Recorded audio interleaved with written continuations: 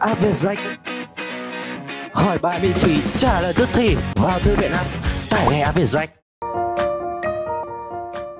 Chào mừng các con đã quay trở lại khóa học tiếng Việt lớp 4 của Việt Sách. Các con thân mến, trong tiết chính tả ngày hôm nay, chúng mình sẽ cùng nhau nhớ và viết lại đúng chính tả, trình bày đúng bốn khổ đầu của bài thơ nếu chúng mình có phép lạ. Luyện viết đúng những tiếng có âm đầu hoặc dấu thanh dễ lẫn, ví dụ như là sờ, sờ, dấu hỏi và dấu ngã. Cụ thể, chúng mình sẽ cùng nhau đi qua hai hoạt động. Hoạt động đầu tiên, nhớ viết và hoạt động số 2, bài tập chính tả. Bây giờ, cô trò mình cùng nhau vào hoạt động đầu tiên, hoạt động nhớ viết. Trước khi viết bài chính tả ngày hôm nay, chúng mình sẽ cùng nhau đọc thầm và ôn lại bốn khổ đầu của bài thơ nếu chúng mình có phép lạ.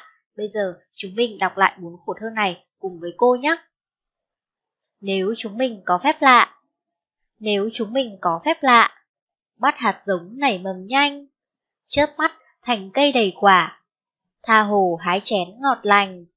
Nếu chúng mình có phép lạ Ngủ dậy thành người lớn ngay.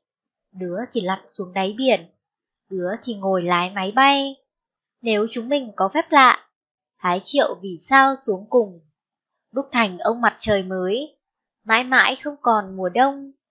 Nếu chúng mình có phép lạ, phá trái bom thành trái ngon, trong ruột không còn thuốc nổ, chỉ toàn kẹo với bi tròn. Vừa rồi, cô và các con chúng ta đã ôn lại bốn khổ thơ đầu của bài thơ Nếu chúng mình có phép lạ.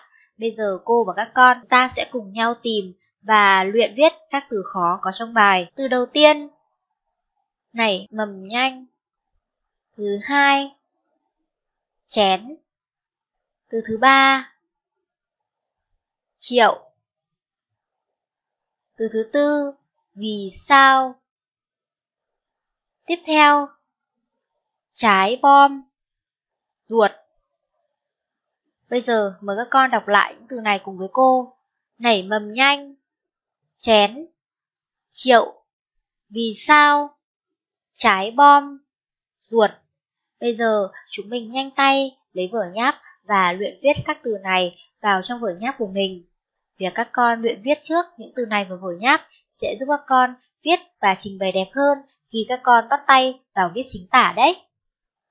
Sau khi các con đã viết xong những từ khó này vào trong vở nháp, chúng mình cùng nhau đến với hoạt động tiếp theo là cách trình bày của bài chính tả nếu chúng mình có phép lạ. Cách trình bày của bài chính tả này như sau.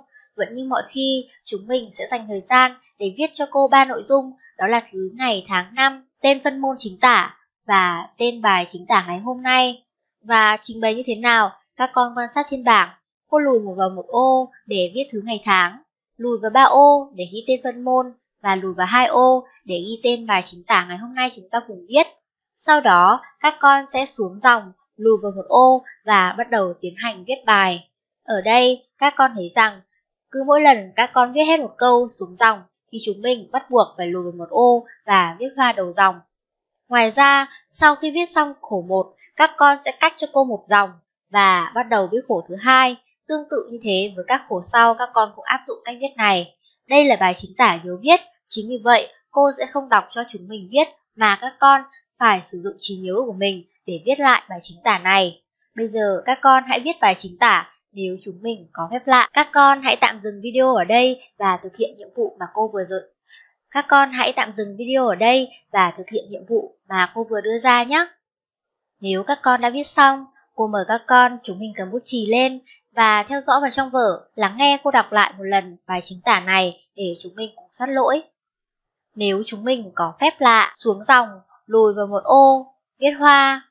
Nếu chúng mình có phép lạ, xuống dòng, bắt hạt giống nảy mầm nhanh. Xuống dòng, chớp mắt thành cây đầy quả. Xuống dòng, tha hồ hái chén ngọt lành, cách một dòng, viết khổ thơ thứ hai. Nếu chúng mình có phép lạ. Xuống dòng, ngủ dậy thành người lớn ngay. Xuống dòng, đứa thì lặn xuống đáy biển. Xuống dòng, đứa thì ngồi lái máy bay. Chấm, hết khổ thơ thứ hai, cách một dòng, viết khổ thơ thứ ba. Các con cũng lùi vào một ô, nếu chúng mình có phép lạ. Hái triệu vì sao xuống cùng. Đúc thành ông mặt trời mới.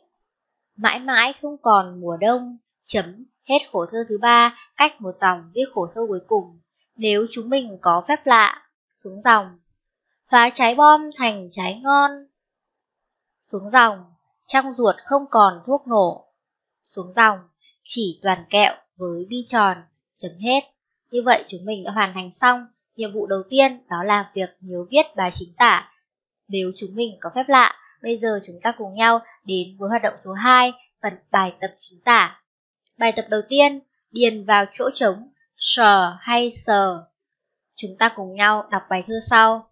Trái nhót như ngọn đèn tín hiệu, trỏ lối, chấm bát chấm, mùa hè.